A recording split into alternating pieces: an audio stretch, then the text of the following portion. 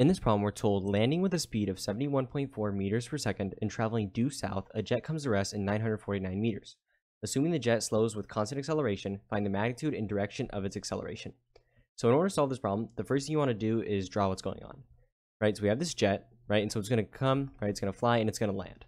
And so we know at the point of landing, its velocity is going to be equal to 71.4 meters per second, right? And then we know it's going to travel along this runway, 949 meters, until it comes to rest.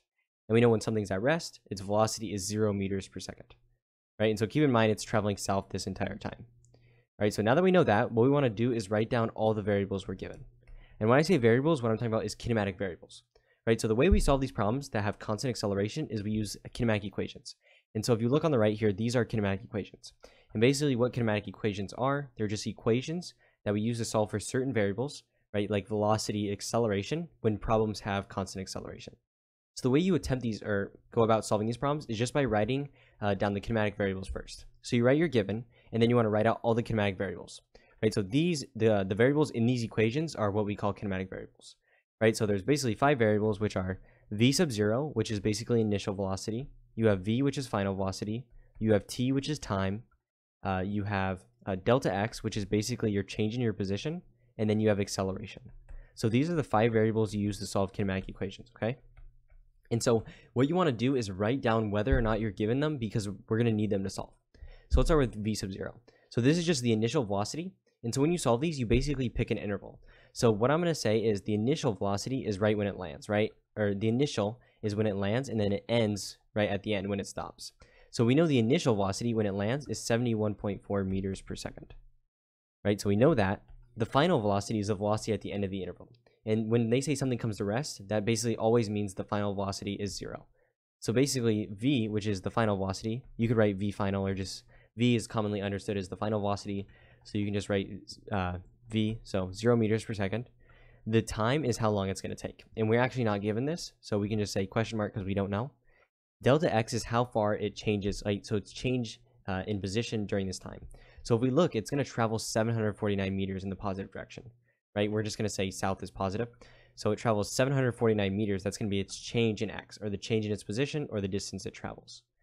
So 949 meters, that's that. And then acceleration is what we're solving for, right? They want the magnitude and direction of the acceleration, which is a. So basically, we just say a equals question mark. So if you look here, we're given three different variables. We're given v sub 0, we're given v, and we're given delta x. And what we're trying to do is solve for a. So what we're going to do is plug these variables into one of the kinematic equations and solve for a. So if you look at the equations, notice how 1, 2, and 3 all contain the variable t. And we don't know t, so we can't use that. But if you look at equation 4 here, it has a velocity, uh, initial velocity, it has delta x and has a. And if you look, we have delta x, right? We have v sub 0, and we have v. And the only variable left is a, so all we have to do is just plug it in and solve.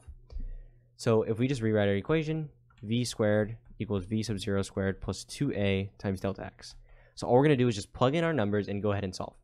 So v is going to be 0, right? So 0 squared is still 0 equals v sub 0 squared, which is 71.4 squared, plus 2 times a, we're just leaving a because that's the variable we're solving for, times delta x. Delta x is 949. So if we want to solve for a, we minus 71.4 squared from both sides. That'll cancel right there. Right, so you'll get minus 71.4 squared equals 2a times 949. What we can do is divide by 2 times 949. That's going to cancel out these constants. So basically, you're going to just get A is equal to minus 71.4 squared divided by 2 times 949. So when you go ahead and plug this in, you're going to get that A, right, what we're solving for, is equal to minus 2.68. And then the units that we use to measure uh, acceleration is in meters per second squared. So minus 2.68 meters per second squared. So that's the acceleration, but what they're asking us for is the magnitude of the acceleration in the direction. So when they say magnitude, essentially what they're talking about is just the absolute value of uh, whatever value you found. So it's just a positive value. So A is going to be equal to 2.68 meters per second squared. But then they also want the direction. So what direction is this traveling in? So basically, the negative sign indicates that the acceleration is in the opposite direction that you're traveling. So we're traveling south, right? So the acceleration means, since it's negative, it means it's in the opposite direction the opposite of south would just be north, right? So it'd be 2.68 meters per second squared. And then you could say like due north or in the north direction uh, however you want to write it. But basically, this is the direction north because it's negative. So your acceleration is basically 2.68 meters per second squared due north. But yeah, so this is going to be your answer, and hopefully you found this useful.